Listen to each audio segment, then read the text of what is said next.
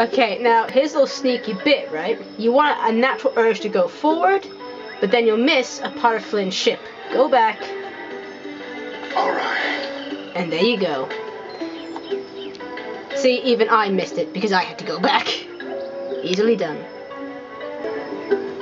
Okay, here you'll take down your first greeble screwball. Go around here. Take out the suitcase. Nice metallic suitcase. And voila! It's one of Flynn's missing stuffs. Okay, shortly after the soul gem, you'll be set upon by three chompies. Get rid of them. Make your way down here. And you'll find more of Flynn's stuff. Okay, after you've got the soul gem, just ooh, honey, honey, honey. Tell them about the honey money. Right, um, go down here and see. There's the part of the ship you want.